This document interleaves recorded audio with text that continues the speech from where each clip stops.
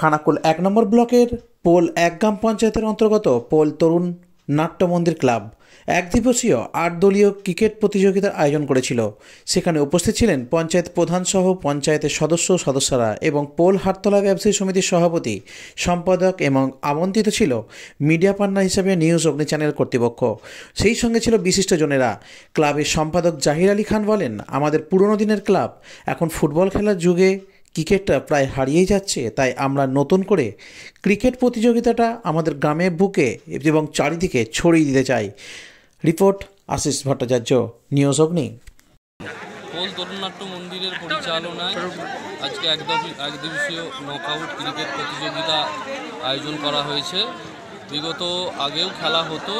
কিন্তু অনেক দিন বন্ধ হয়ে গেছিল। এখন আমাদের তরুণ যেসব সদস্য আছে, তাদের পরিচালনায় মূলত খেলাটা আজকে নেতাজির জন্ম জয়ন্তী উপলক্ষে খেলাটা আবার নতুন করে চালু হয়েছে। এটা আনুমানিক চল্লিশ বছর আগেকার প্রতিষ্ঠিত ক্লাব তরুণ নাট্য মন্দির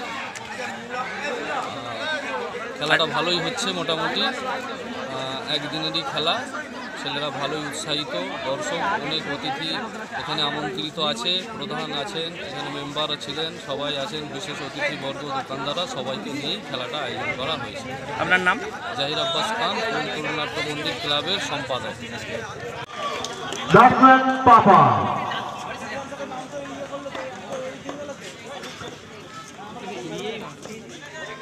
আবার সজনে চালিয়েছিল কিন্তু না এবারে কোনো রান নয়। খুব সুন্দর ফিল্ডিং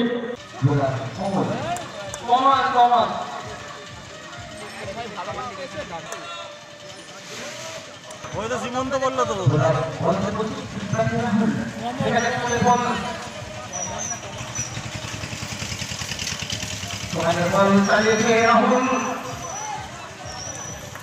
সুন্দর বল সুন্দর ফিল্ডিং তোমাদের বল রাহুল ব্যাট চালিয়েছে বলে কিন্তু